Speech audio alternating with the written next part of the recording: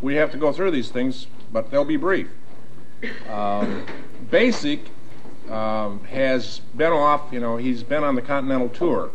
It's what happens when you get sent down, you know, from some school in England. Your parents send you off on the Continental Tour.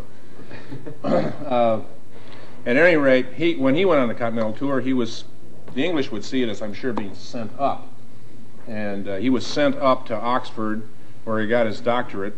And uh, while he was there, he, he was personally tutored by perhaps my favorite theologian, a man by the name of Macquarrie, uh, whom I think is a wonderful theologian.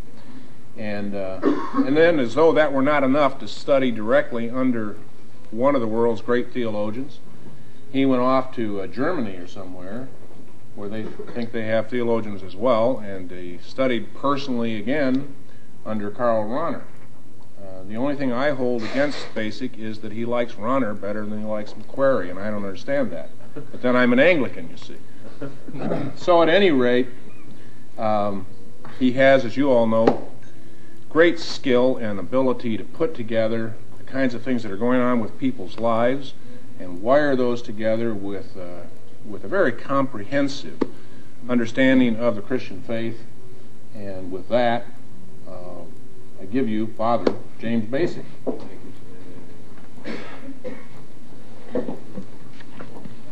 Uh, we are taping this uh, today, and I am talking exactly 29 minutes. And our uh, Dick Adler here will probably reset the machine or something, or uh, help me to accomplish all of this on time. I hope all of this rest of this uh, stuff that Terry had to say is getting erased from the tape. we hope. And so, Dick, what I'm going to do in a minute or so here is first I'd say I'm happy to be here and to uh, be doing this again. It's become sort of a tradition. I enjoy it, and uh, I'm looking uh, forward to this whole series. And as soon as we're all set up, then I am going to ask Dick to, when I actually start, you're supposed to tell me when 29 minutes are up, okay?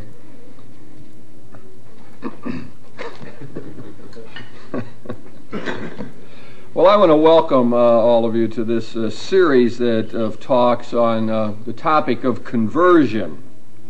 I think sometimes people hear that word conversion and they get put off. They think of people being knocked off of their horse or strong, striking experiences of a religious nature that uh, seem to be foreign. But I want to use this topic of conversation to help us to explore something about our own lives, uh, to look more deeply at who we are and where we fit. I see it as a way of systematically analyzing our own progress in the spiritual life. You know, spirituality is important to us. Uh, spirituality has to do with becoming more fully human with being in touch with the deepest sources of our energy and strength, of tapping uh, into the spirit that resides in the very center of our being. And my feeling is that uh, if we are going to grow as human beings, become better Christians, more mature people, we often have to work at it rather carefully and systematically. So, all the things that I'm going to say about the question of conversion have to do with helping us to do that in a, a really better fashion. Now, there's a couple things we should keep in mind, I think, about ourselves to begin with, and that is we are developmental creatures. We are in process. We are making ourselves to be what we will be forever. The process of growth doesn't end at age 21. And the real model of what it means to be a Christian is not a little girl in a white dress making her first communion. What we are after is an adult Christianity. We're, at, we're trying to see ourselves as in process, as always having the chance to do a little bit better. A lot of times people come to me and say, Well, you know, do you think there's any hope for me? Or can I do any better? Or am I just stuck here? And I know my intuitive response is always, Yeah, I think you can do better. I think that's possible. I think conversion is possible. It's possible for us to turn it around, to get hold of our lives, to do better. And that's one of the premises that's involved in all of this that we are evolutionary creatures. In our personal lives. We are growing and developing, and we have opportunities to do that carefully and intelligently. The other premise involved in this whole series of talks is that uh, we are multi dimensional creatures. That is, we uh, function in various ways. There are various aspects of our personality. So we are people who can get angry when things go wrong and feel pride when we are able to accomplish things in our lives. That suggests to us that we are emotional creatures. We have an affective life as an important domain of um, what it means to be human. We are affective creatures. We can also imagine getting a better job or spring coming or our family life going better or uh, disasters impending. We have the ability to foresee, to imagine. And so I would, I would say again that part of the dimension of our existence, one aspect of it is we are imaginative creatures, and we need to make imaginative types of conversions. We're people who think, we analyze problems, you know, we figure out solutions, we use our reason, we have logic. And so it is that we are intellectual creatures. That's part of what it means to be human. And again, we are called to make at times intellectual conversions. We're also the kind of people who can do a better job of getting along with people. We can decide to be more sensitive. We can decide to get involved in social justice projects. We can decide to get rid of one of our vices in life. That suggests that we are moral creatures. Morality is an aspect of our existence, and we can make moral conversions. We're also the people who can wrestle with the great problems of life, can think about the great questions of meaning and purpose.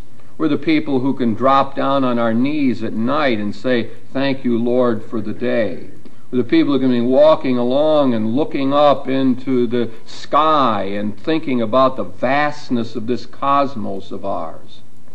We are people who can hear a call from beyond echoing in our own hearts and conscience. We are, in short, religious creatures. Religion is an aspect of our existence, and we can be involved in religious conversions as well.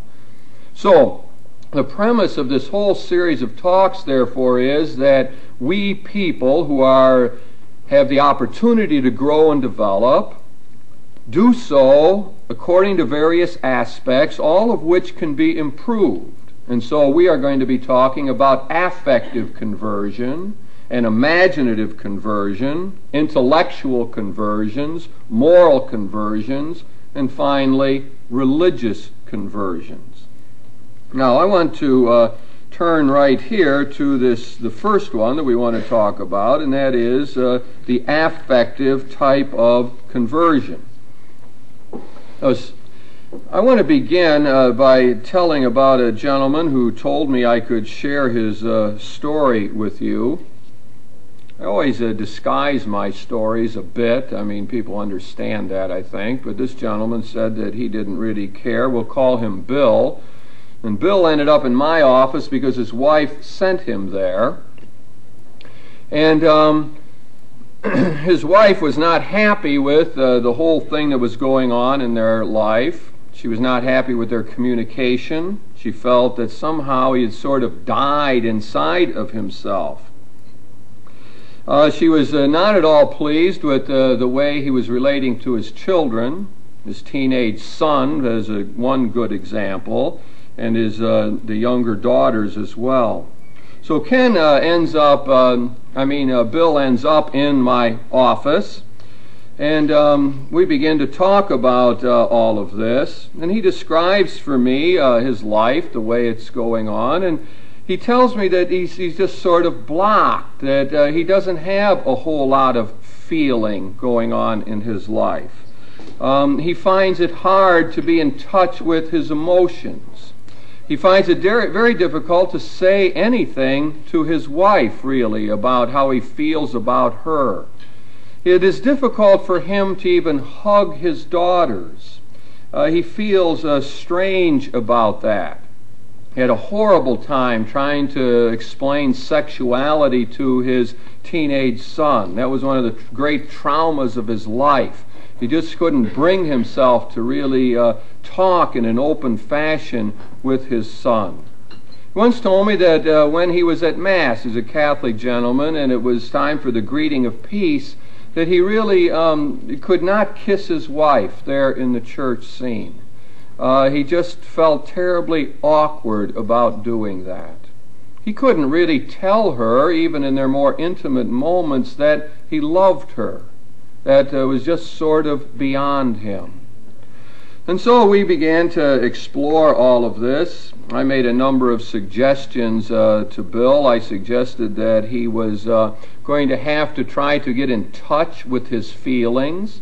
He's going to have to learn more about what's going on inside of him, his sentiments, his emotions. He had to get in touch with that. He had to understand it. I wanted him to become very attentive to what was happening in his inner life. In fact, I, I put him on sort of a regimen of trying to write down a whole lot of things that were happening with him. we even got very programmatic about it. Uh, um, it was uh, very artificial in some senses. Uh, I wanted him to call his wife from the office uh, each day and to try to say something nice to her, something uh, about their relationship or what was going on. Not a business matter, but just something that um, was uh, more endearing and of a more intimate character. I wanted him to force himself to begin to talk, first of all, with his daughters. Uh, to uh, set aside a period of time when he would uh, really sit down with them and uh, discuss and try to understand what, what was going on with them. I suggested that their prayer time together at Mass was really important to them, and he should be attentive to what he was feeling when he was there with the family.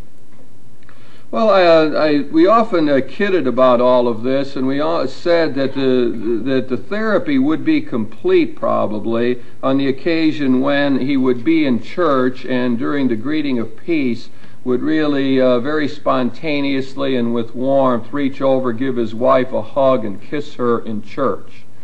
And I guess uh, one of my better days occurred when he reported to me that is indeed what he was able to do. Now, I see uh, my friend Bill in all of this as uh, being an example of a person who has undergone an affective conversion. To undergo an affective conversion means that one moves or swings, does a 180, turns it around in one way or another.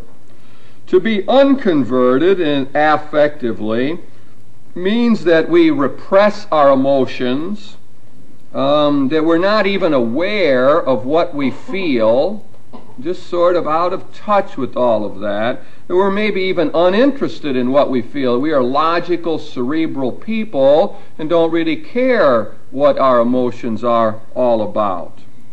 No, we're the to be unconverted means that we are the prey to demons, that there's things in our unconscious that come forward to strike us, and we're in strange moods that we don't understand, that we're not able to handle things as they come up, that many of our emotions seem inappropriate, uh, out of sync. To be in unconverted state means that we are subject to self deception that we have little guidance with uh, to know what to do about what is wrong in our lives so that if we get depressed we have no sense of how we might try to come out of all of that.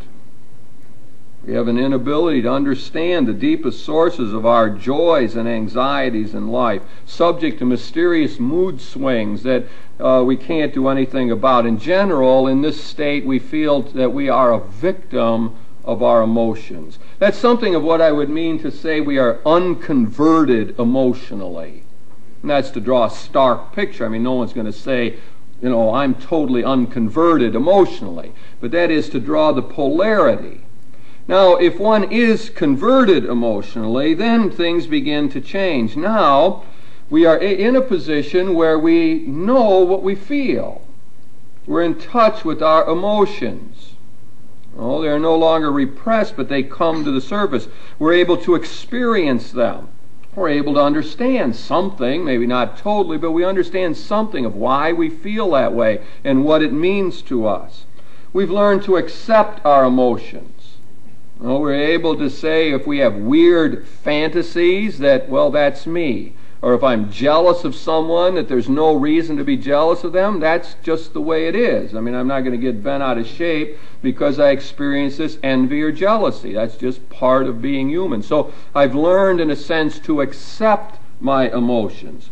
But I'm also able to, in a converted state, to critique my emotions, to make judgments about them.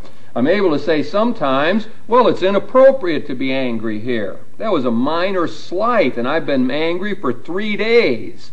Been in a blue funk because someone didn't say hello to me. That's inappropriate. So I'm able to make judgments about my emotions. And I'm able to do something about getting my emotions more in sync with reality and with what my insights tell me about life. My emotions are then able to be mobilized for my good, that they work for me now. They, are, they move me to more constructive action. They are uh, integrated into my total psyche. My intelligence is able to uh, use them in order to achieve growth in my life, to get along better with other people, to make a contribution to what is going on in the world. So that uh, uh, you say that to describe the situation. Those are polarities, the two extremes of being unconverted, totally out of touch, and the other hand, being in touch, understanding and mobilizing my emotions in order that I can live a more constructive life. I think we need to, to look more closely at these feelings and what they are all about because they are our important inner experiences. You know, they give us our initial response to life. I'm trying to point out now how important our emotions are. This is like what we would say uh, to Bill when he first comes into me and says, Well, I'm not interested in all this. You know, I'm a businessman, I got things to do, and so on. And here my wife wants me in, to be in touch with all this feeling level. You know, well, that sounds weird to me. So, first thing I got to do is to tell Bill that this is important. I mean, our feelings uh, are an essential part of who we are as human beings. They give us our initial sense of life. You know, we meet a good person, and we just and we're attracted to them, and then we want to talk more to, to them. Maybe we want to get to know them better. Our, our feelings are what move us in that direction. Then maybe good things happen. Oh boy, a new vista is opened up to me because I've met a new friend. My intelligence didn't tell me that. No, it is my feelings that put me in touch with this sense that there's a good person here. Good vibrations are coming for them. I could learn something from them or learn something about what the virtuous life is all about. Further, our emotions are valuable to us because they help focus our thinking and our acting. They often galvanize us uh, to uh, get into action, move us to do good things. For example, there's some people who have a strong fear and revulsion of the, about the nuclear holocaust, the possibility that we could destroy ourselves. There's some people fearful of that and very distressed with this uh, ominous threat that hangs over the human race right now. Well, some people, instead of um, just uh, pulling the covers over their head at that point and saying, I'm anxious and fearful, use the, that emotion in order to get into action, to become a peacemaker, to work for justice in the world, oh, to try to do something constructive to avert this threat. So what has happened is, for many people, this fear of the nuclear holocaust has kept them in action over the years to work for peace, even though there doesn't seem to be much progress or we're not getting any place with all of that our emotions work for us. They give us the zest for life. They're part of the chemistry that keeps us going. They're the things that can lift us up. They're also the, the elements in our psyche that often pull us down and that we need to deal with. But the emotions are terribly important, and uh, we need to see that as a first step. That's I spent a lot of time with Bill trying to get him to see that he was an emotional creature and that if he got more in touch with his emotions and could manage them better, that he was going to be a more effective human being. He's going to be a better father to his daughter. He's going to get along better with his wife. He might even be able to talk better with his son someday. All of that if he would work along this line. Now, I tried to give Bill a, a, good deal of advice, and I think you could take the kind of advice that I give along this line and divide it into two things. One is we need to gain insight into our emotions, and two, we need to learn how to express them constructively. Two things that I believe are involved in becoming a converted person emotionally.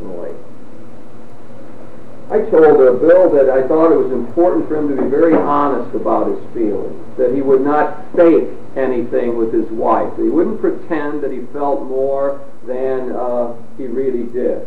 He had to be honest. If he was not uh, getting along well, if there was something wrong, uh, he should say it. If he was angry, he should get that out.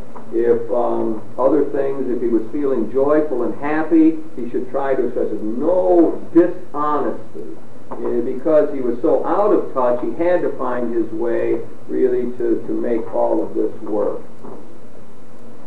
I suggested to him that it was uh, very important that he feel new emotions at any given point and not remembered ones.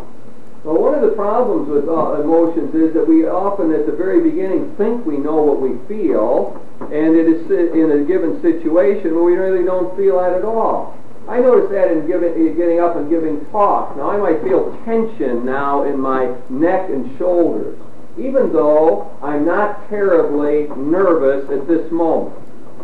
No, but it's like a remembered response uh, from other occasions when I would be giving talks. And it seems important to be able to distinguish that out, to be in touch with the emotion one is really feeling at any given moment. And also, I told Bill it was important for him to feel uh, what was he really felt and not what he was supposed to feel. Other words, his wife wanted him uh, to be a lot more emotionally involved in their lovemaking. You know, and it became a question again of not just uh, trying to feel that way because she wanted that, but to see what would really happen to him when he was relating to her in some sort of honest and open way. So you see a lot of ways, and I'm trying to tell him, in other words, there's a lot of ways in which uh, one would fail to get in touch with emotions, or what we're really feeling at a given moment. Now, I wanted him to try to describe his emotions precisely. Do you ever notice how, uh, this kind of thing, like you wake up in the morning and you feel vaguely bad? And um, at least uh, some people have this power. If you can then f- uh, pinpoint what it is bad you feel, I'm sad or anxious, if you can name that and then have some sense of what's causing it, sometimes that emotion will dissipate. Just like that. Negative emotions often will go away simply by naming them and simply understanding their cause. And especially, it becomes important to get the precise name for these negative emotions, I think. Well, the same thing goes for the positive as well. Now, let's. Um, I want to go through with um, the way I tried to get Bill look to look systematically at his emotions, and um, what we see here is that I want him to, to, to look at how he's reacting to the people in his family. I want him to see if he likes what he sees there or whether he dislikes it, first of all. Just at that elemental level, when he's interacting with them, does he like the interactions or he doesn't? Does he really love his wife or has that died in some way? Then, I want him to, as he begins to look at this, I want to see when he has a real desire to be with them and when he has an aversion to that. I want him to be very precise about the moments when he really would like to be around them and to talk to them and so on. And when he would want to be by himself and apart. And I want him to say that honestly to all the members of his family. I want him then to be in touch with the joys and the disappointments and the sadness that are involved in those relationships. What, when he's interacting, what really makes him feel joyful? That's a result of what would be going on. And what part of that does he feel sad about? And then I want him to be in touch with anxiety or peacefulness. I want inner peacefulness, I would call it. I want him to, to know when something seems is askew with his world, when he doesn't feel as though he fits in any of that. In the same token, I want him to be to know when he feels like he belongs, when he's comfortable with the setting, when he knows an inner peace. All of those emotions are what happens as we interact directly with other people. But there's a whole other range of emotions I want him to think about. And these are the emotions that are involved in dealing with obstacles to our relationships. So I want him to, to deal with hope or despair. I want him right away to have hope that he can overcome his situation. I want to know if he feels despair, like I can't be any better, you know, I blocked all my emotions for so long they don't work anymore. Or can he have hope and say, I can be converted in this uh, affective way? I want him to deal with the pairs of courage or fear. I want him to say, why is it you can't talk to your teenage son about sexuality? Why is it you cannot hug your daughters? I want him to unpack that fear. And I want him to act courageously sort of almost forcing himself to act courageously and to talk to his daughters even when he finds that to be very difficult. And then I want him to deal with anger and something that I might call peacefulness as well, or repose. It is when things are not going well and he feels blocked and harm has come into his life. I want him to know that emotion and also want him to feel that uh, repose in uh, a satisfying relationship. So, all of those uh, could be used, you see, as a way of delineating more carefully what it means to be an emotional person, to name the emotions precisely. You notice, I mean, there's very different things. Love and joy are not the same thing. No, desire is different from uh, hope that we would have. To name the emotions precisely is part of our way of knowing what we're good at and the other things that we need to work on. It's another thing that I would like uh, Bill to be in touch with, and that is to distinguish repression from suppression, to distinguish repression from a healthy expression of feelings. A lot of what he was involved with was repression.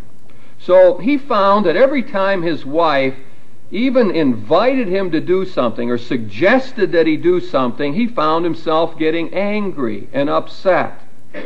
Angry and upset because of that. Uh, well, it didn't make sense. He said to me, he says, I don't know why that bugs me. She just asked if I wanted to go to the party, and I sort of felt like she really wanted to go, and it makes me terribly angry.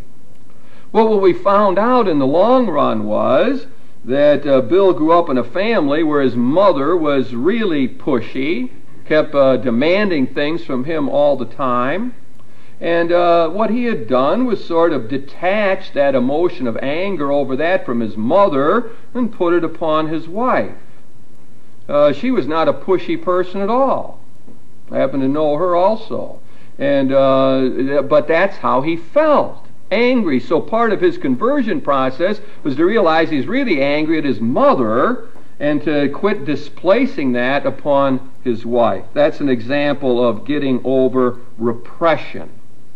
On the other hand, what I want him to be in touch with is the positive possibilities of suppressing emotions, to use some of the classical terminology. That is, that it's not always a matter of just saying everything we feel. Sometimes he would be upset with his wife, and it would be a lot more prudent not to tell her. Oh, uh, things would just go more smoothly. So, what he has to do is to learn to use his intelligence and insight to say, when does it make sense to express what I feel, and when should I hold it in? Now, that's all the difference in the world in having emotions that are in our unconscious and we have repressed and we don't know about, and they jump out and make us snap at somebody or make us sad when there's no reason to be sad. When I know what I'm doing, it's all the difference in the world. I'm angry at you right now, but I'm not going to say anything because it's not going to be constructive, and I'll get over it before long, and things will just go a lot more smoothly if I keep my mouth shut. So, I think this distinction here between repression and suppression helps a lot in this conversion process. Now, in all of this, I think it's important to realize there is a religious dimension know, as I've been talking along, one could say, well, you know, what's that got to do with what I usually think of as religious conversion or the spiritual life? Well, first of all, it has everything to do with the spiritual life because we try to come closer to God and live out our commitment to Christ as a total human being. We don't do so just as an intellect or a head. We do that trying to put our head and our heart together. We're trying to respond as total persons to the call of God to become our better selves. So, of course, there's already a spiritual dimension built into all of that. But there's also explicit religious things we need to keep in mind. That is, one of the reasons we can face our emotions is because we believe in a God who knows us, calls us by name, holds us in the palm of her hand, watches over us always a God who knows the dark forces within us. We can't hide our envies and jealousies and hatreds and angers and all the emotion, uh, negative emotions. It's already known, and God accepts us as we are with all of those dark forces. And that's a, a, marvelous thing to know. That's the deepest reason why we can face these things. Might be hard to tell it to somebody else, although that, we might have to get around to that but we can face it because God already loves us. And as Christian people, we finally uh, look to see the model and example of Jesus. And I see him as one who is able to mobilize his emotions in order to be a constructive force for good in the world. So we think of uh, when he cried, when uh, Lazarus died, felt genuine sadness over the death of uh, his friend and that mobilized him to be compassionate uh, to Lazarus' family. No, it helped him uh, then